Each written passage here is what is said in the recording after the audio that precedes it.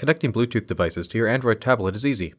For example, we'll connect this Bluetooth keyboard to a tablet using the ice cream sandwich version of Android.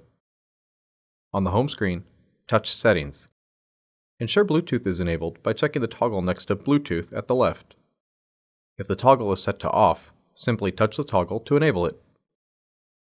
Ensure your Bluetooth device is charged and on. Then touch Bluetooth at the left. Sub-accessories may have a button that must be pressed to pair. Consult your accessories manual for more information. To have the tablet search for Bluetooth devices again, touch Search for Devices in the upper right. Once your Bluetooth device is found, select it to begin pairing that device to your tablet, provided your device is compatible. Some devices may cause an additional dialog box to open. Follow the instructions to continue pairing the device. For more information, visit support.toshiba.com.